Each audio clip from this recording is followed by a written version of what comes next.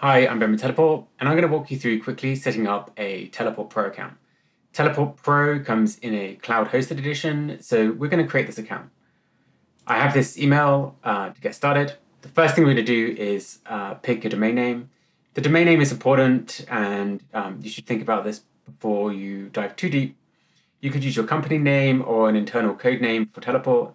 This will be used for quick links to accessing Teleport and also will be embedded for API tokens, etc. So um, I'm just going to pick Acme Demo Teleport, just Acme Demo, and um, we have our terms and services that you can review and get started.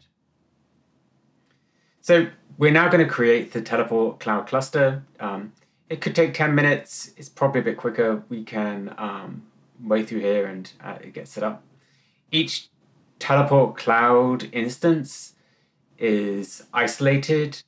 And this is kind of why it takes a little bit longer. So we could provision an individual database per user. The same with containers. We have some network isolation.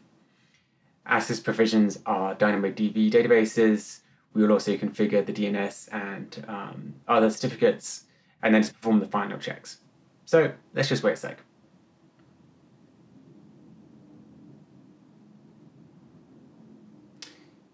Okay, it's taken a little bit longer. We will also send an email when it's ready, but I'm going to just pause the video and um, come back once it's complete. Okay, everything is ready, so we can get started.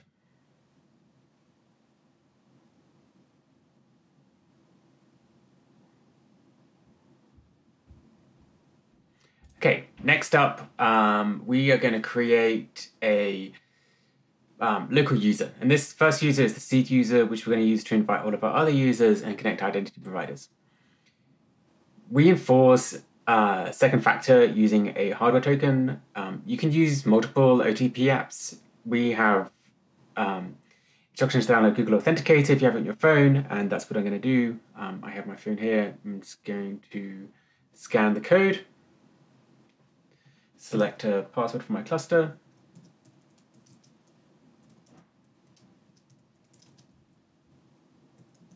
and add in the um, second factor code.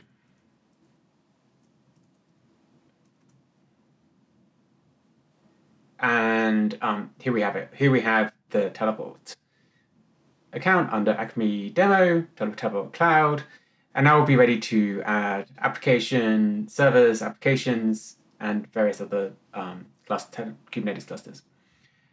I'm going to be creating a separate video which you can watch after this that will do a deep dive into adding applications, databases, Kubernetes clusters, and servers. Um, but for now, this ends the initial onboarding of Teleport.